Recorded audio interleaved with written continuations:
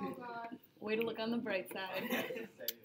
Okay, so because I know you guys are, um, you know, a little bit burnt out, it's very where there are no examples and it's very very easy stuff today. So I have to keep going so we can get everything done according to schedule, but it should be a breeze.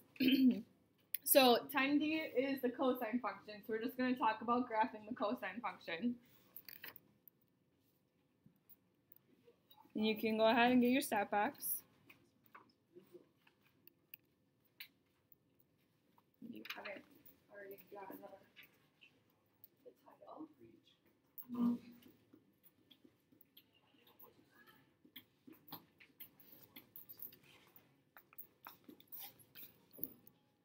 So if we take a look at the unit circle, we can see that when x equals 0 for cosine, y equals 1, when we plug in pi over 2, it's at 0, pi is at negative 1, 3 pi over 2 is at 0, and 2 pi is at 1.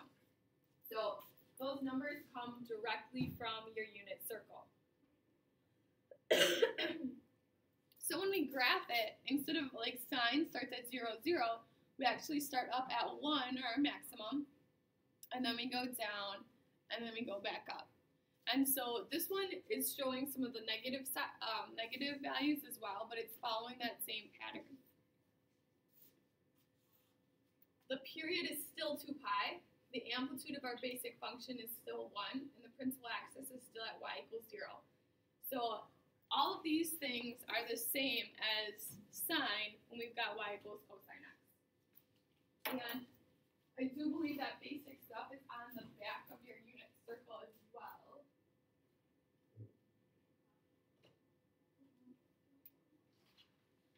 So the basic stuff is on is on the back of this as well.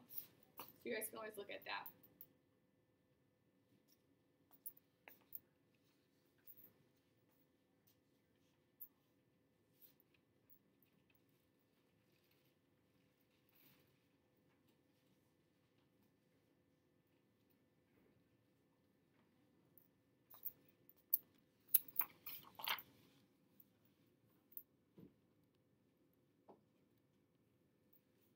Alright, so the thing is, it's actually just a horizontal translation of the sine curve. If you move the sine curve to the left, pi over 2 units, you get the cosine curve. So this is taken directly out of your textbook. I don't know that you need to draw this, but um, the dotted line is our sine curve. y equals sine of x, so starting at 0, 0, up, back down, and back up. And then again, like as you can see, we just shifted over. So we're starting at the top and then going down and back up to the top for the cosine curve. This should all be like refresher, right? Because you've done, you graphed these last year.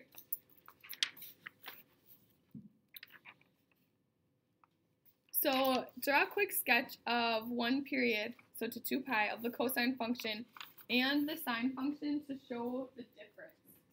And so I think I want to draw them separately. You could draw them on the same if you want. I'm going to draw mine separately though.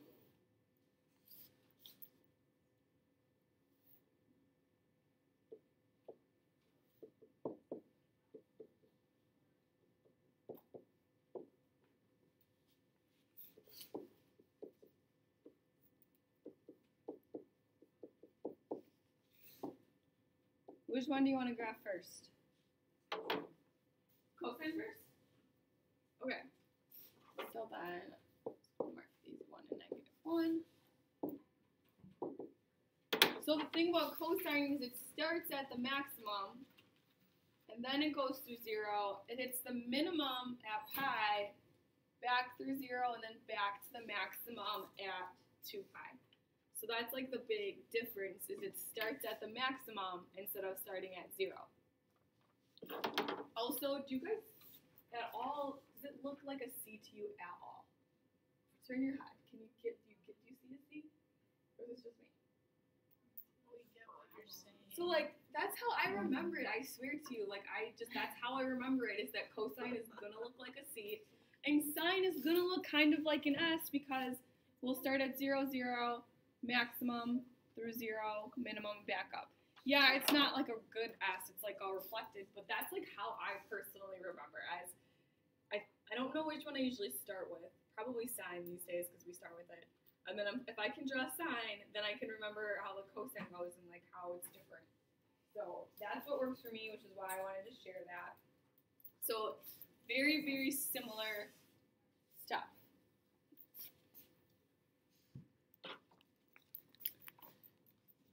All right, so then all of this stuff is the same as it is with sine. So a in front multiplying a is going to be a vertical stretch. It'll change the amplitude. So it'll change your maximum and your minimum, right? b being multiplied inside that function is a horizontal stretch. It'll be related to the period. It is still that the period still equals 2 pi over b. Like that's still the same as well, just like sine.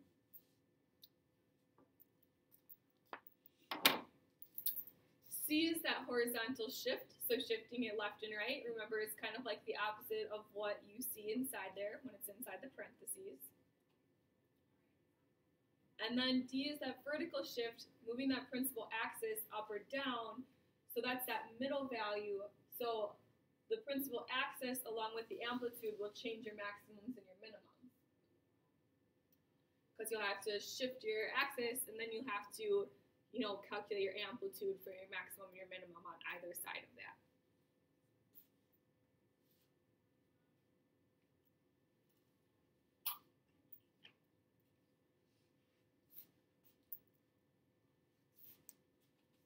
So this is it for the notes. You guys okay?